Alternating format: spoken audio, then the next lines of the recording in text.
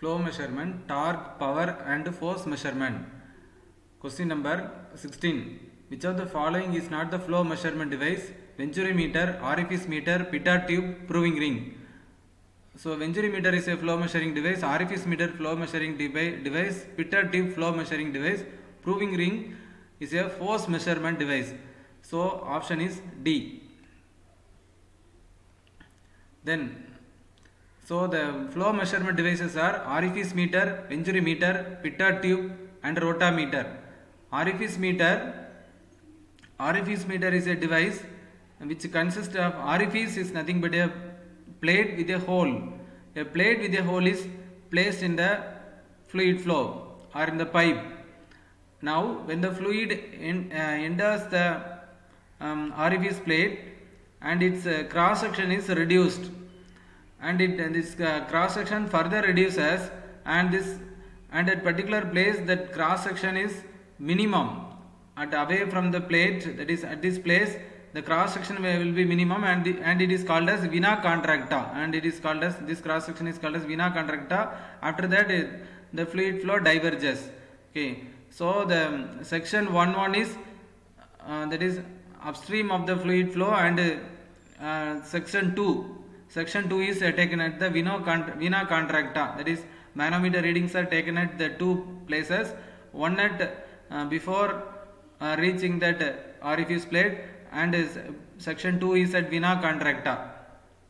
And uh, the head manometric head h is measured. And it can be measured using the formula flow can be measured using the formula q equal to cd into a1 a2 square root of 2gh divided by square root of a1 square minus a2 square. Here a1 is the area area cross sectional area at the section 1 1 and a2 is the area at the vena contracta. Okay. so this is a principle of orifice meter. Then second one venturi meter. Venturi meter consists of a converging pipe a throat section and a diverging cone. In the throat area will be minimum and velocity will be maximum and pressure will be minimum. And section 1 1 is taken at the upstream of the pipe and section 2 will be at the throat. Manometer is inserted between section 1 1 and section 2 2 and this measures the manometric head. And velocity is measured using the formulas q equal to cd into a1 a2 by a1 square minus a2 square into square root of 2gh here the same formula is used for orifice meter but the cd value will be different. The cd value for a venturi meter is 0.97 but cd value for an orifice meter is 0.65 cd value will be different for the, different for the different uh, instrument.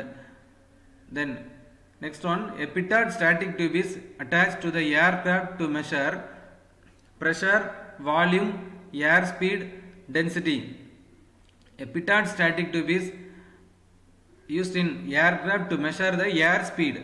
So option is c. So pitot tube is also a flow measurement device. Okay pitot tube is also a flow measurement device but it also measures the air speed or velocity or local velocity. In the pitot tube it was invented by a french engineer. It is widely used to determine the air speed of an aircraft. Water speed of a boat okay. And to measure liquid air and gas velocities in industrial applications. Okay. It is used to measure the local velocity at a given point and average velocity of a pipe in the conduit. Okay. So a pitot static tube is uh, attached to the aircraft to measure the air speed. So in the pitot uh, pitot tube uh, the, that is when the fluid enters a pitot tube it becomes uh, its velocity becomes zero and this condition is said to be stagnation condition.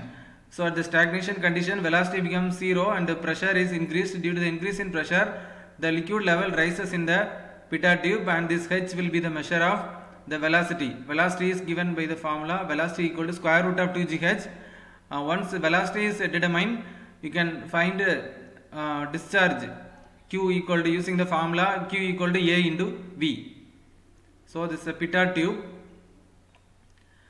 Then a pitot static tube is attached to the aircraft to measure the air speed. Answer c. Which uh, next question. Which of which one of the following is the mismatch? Velocity. Anemometer hot wire anemometer measures the velocity wind velocity. Particularly it measures the wind velocity. Flow is measured is, is correct. First one is correct. And flow is measured using rotameter is it is correct. And power is measured using load cell okay this is not correct. And level is measured using float. Power is load cell measures force only. It will not measure the pressure power. So the c is a mismatch. So option is c. Rotameter is used to measure the flow volume flow rate. Okay meter cube per second which is the discharge or volume flow rate or flow. Rota so option a is correct. Rotameter is a device consists of the principles behind this rotameter are buoyancy effect drag and acceleration due to gravity. So rotameter consists of a float okay. So the float moves upwards and downwards depending upon the flow rate. So the forces acting on the float are that is the buoyancy effect. That is uh, for a floating body it is a wooden wooden float. So it, uh, it is a buoyancy force will act in the upward direction the self weight will act in the downward direction due to gravity and the flow is acting in this direction. So these three forces are encountered in the rotameter. So rotameter is used to measure the flow. Then local velocity is measured by a pitot tube. Okay. It will add uh, venturimeter measures a discharge orifice meter measures a discharge flow nozzle measures a discharge but velocity is measured using the pitot tube. Answer is a. A device which is used for making temporary measurements of flow is orifice plate. So the device which is used for making temporary measurement of flow is orifice plate. Okay. Uh, so it is not a Dall flow tube or it is not venturimeter or it is not pitot static tube. Uh, flow, nos- flow nozzle is the most economical device for making flow measurements but orifice plate is used for making temporary measurements hot wire anemometer is a measuring is a uh, flow measurement device. It measures a velocity, wind velocity. It is particularly used in wind turbines to measure the wind velocity. It can also be if velocity is measured, then you can find the flow. Q equal using the formula Q equal to A into V. You can measure the flow rate. So hot wire anemometer is a flow measurement device. Option C is correct. It is not. It will not measure high temperature or pressure or force. It will measure the flow.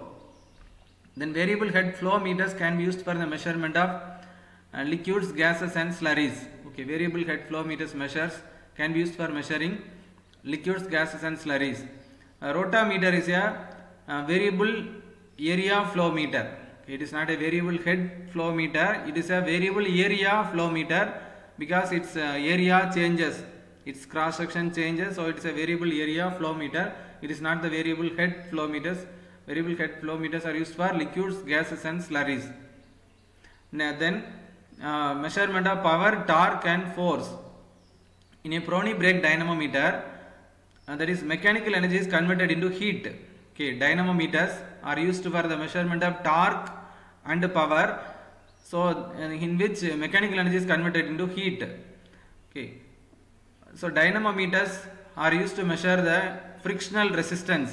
Once the frictional resistance is measured, you can find the torque. Torque equal to force into radius. So we know the radius by measuring the frictional resistance which is equal to force. Force into radius will be the torque. And power equal to, so power equal to uh, Newton meter per second. If you multiply P equal to 2 pi ND by 60, if you substitute in this formula, you can get the power. Okay. So dynamometers can be of different types. It is of absorption dynamometer or transmission dynamometer. In the absorption, we are going to study absorption dynamometer.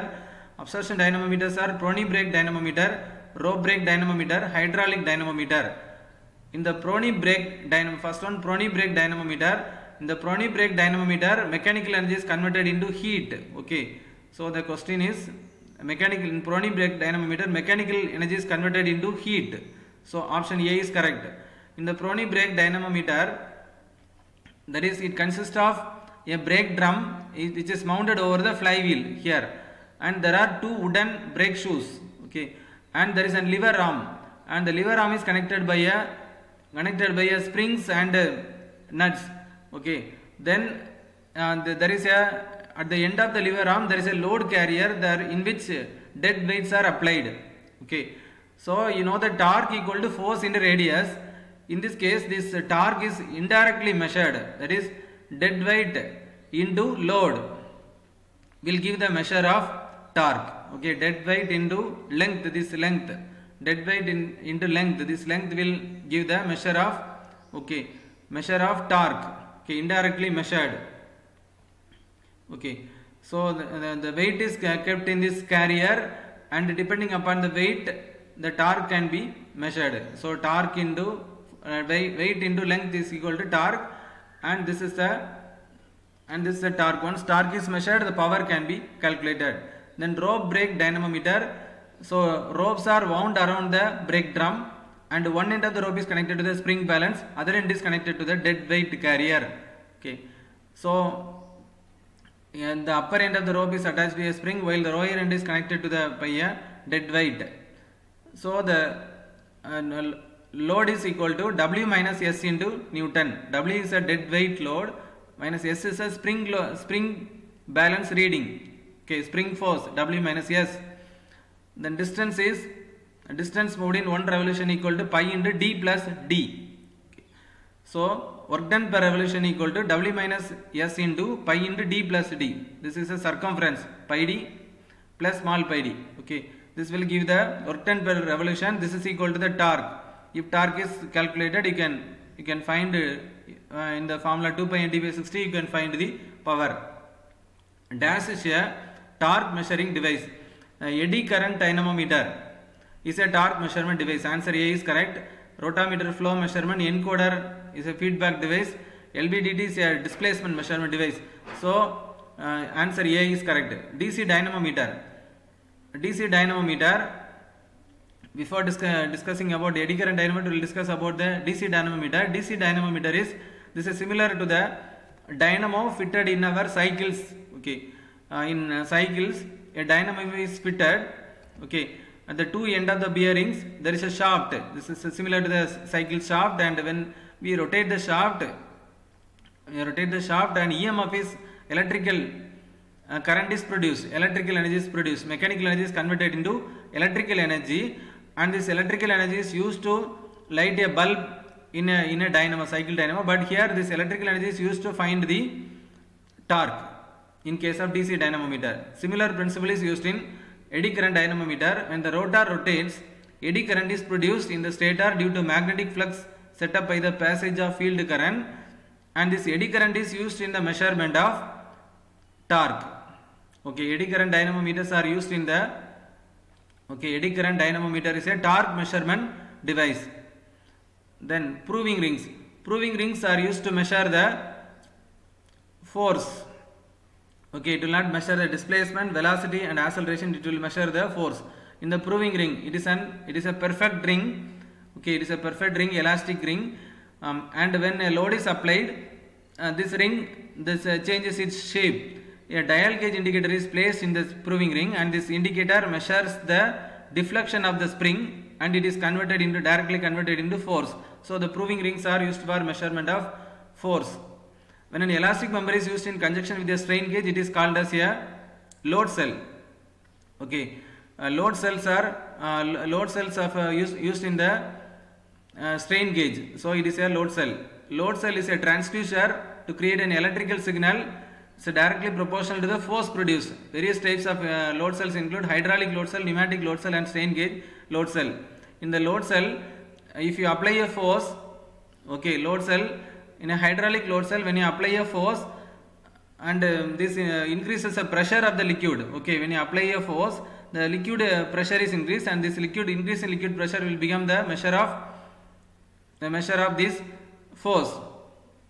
Then the pneumatic load cell, if you apply a force, the pressure of the air is increased, and this increase in air will become the measure of this force. And in the stra- then the strain gauge load cell, if you apply a force, okay, and the resistance of the material increases. This is called a strain gauge load cell. The resistance of the material increases, and this uh, increase in resistance is measured using a Wheatstone bridge circuit, and this will be the measure of the force. Okay, So its resistance in mechanical stresses through tension or compression forces, resistance changes